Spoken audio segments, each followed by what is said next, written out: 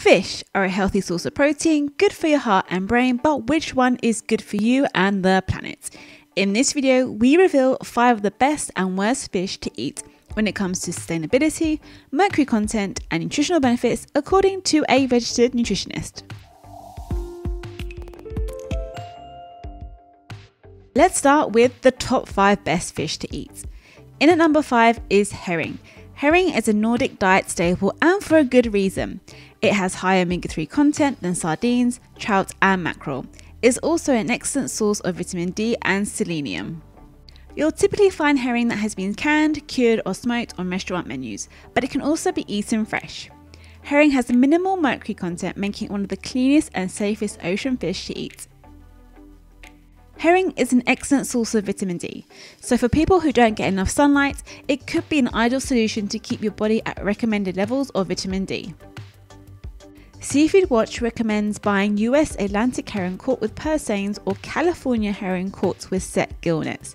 If you're not sure, befriend your local fishmonger as they will help you figure out the sourcing methods of your desired fish. Number 4 is rainbow trout and some types of lake trout. Rainbow trout, also referred to as steelhead trout, is one of the best fish to eat when it is farmed in the US.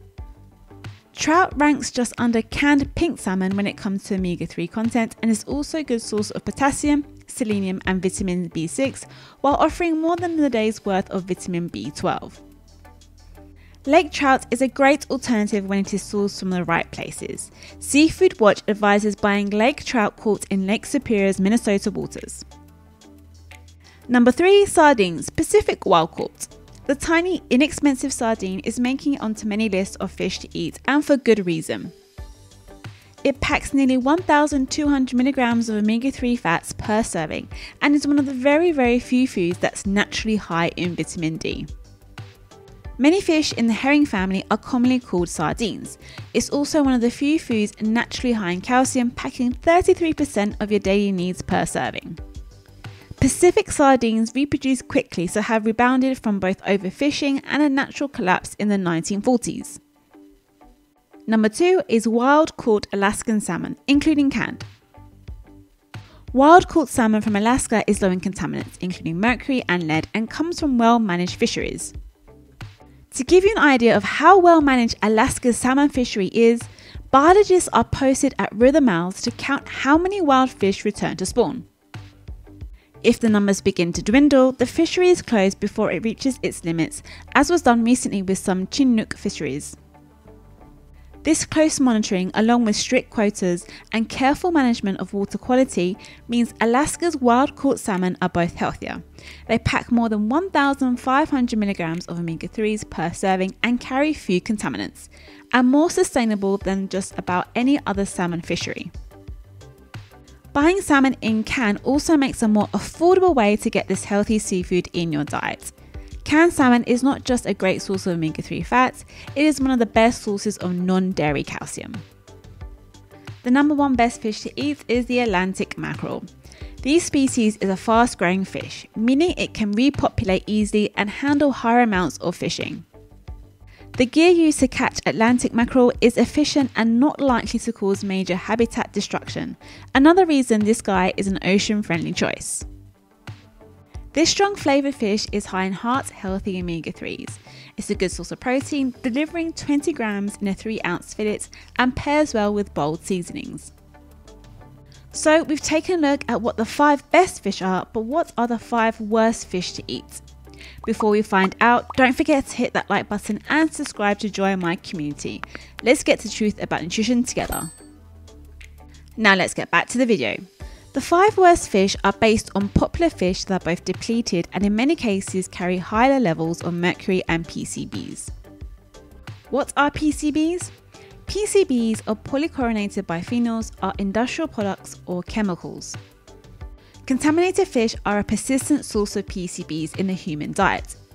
PCBs are not highly toxic with a single dose, as in a single meal, but continued low levels of exposure, for example, eating contaminated fish over an extended period of time, may be harmful. PCBs are probable human carcinogens since they cause cancer in laboratory animals. Other tests on laboratory animals show damage from PCBs to their circulatory, nervous, immune, endocrine, and digestive systems. What about mercury? Why do we need to watch out how much we consume? Well, human exposure to mercury is mostly through seafood consumption, and this exposure has been found to cause adverse neurodevelopmental, cardiovascular, and immunological health effects in sufficient doses. So, you want to try and limit how much mercury you consume. Now let's kick off with the countdown. In at number 5, we have halibut, Atlantic and wild. This fish grows and matures slowly, living as long as 50 years, so it's susceptible to overfishing. Consequently, because of the depletion of Atlantic halibut populations, the US prohibits commercial harvest of this breed found in North Atlantic Ocean, and Seafood Watch rates it avoid on its list. But Pacific halibut is a good alternative as it comes from well managed fisheries with little habitat damage and low rates of other marine life being caught as bycatch. What is bycatch? Bycatch is unwanted fish and other marine creatures trapped by commercial fishing nets during fishing for different species. Pacific halibut does have more mercury than other options, which is why the FDA lists it as only a good once a week choice rather than a best two to three times option. In at number 4, as the worst fish to eat, is mahi mahi. Imported longline mahi mahi or dolphin fish is rated as one of the least eco friendly fish by the Environmental Defence Fund. There is concern about bycatch, including sea turtles, seabirds, and sharks getting tangled in the fishing gear when mahi mahi is fished.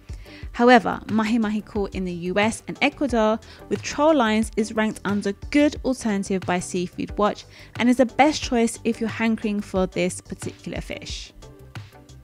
Number 3 is salmon Atlantic farmed in pens.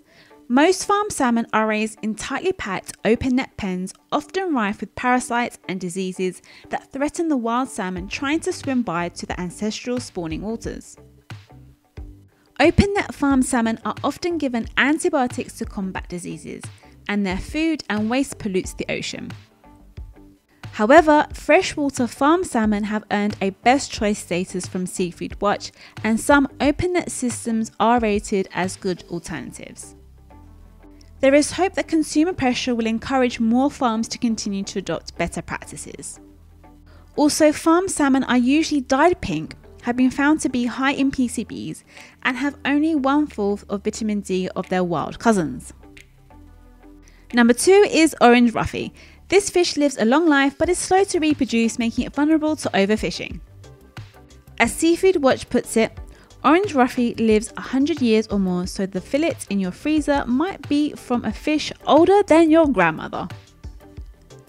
This also means it has high levels of mercury, causing EDF, the Environmental Defence Fund, to issue a health advisory. Number one is the bluefin tuna. The World Wildlife Fund put the bluefin tuna on its list of endangered species, and Seafood Watch warns their populations are depleted and overfished.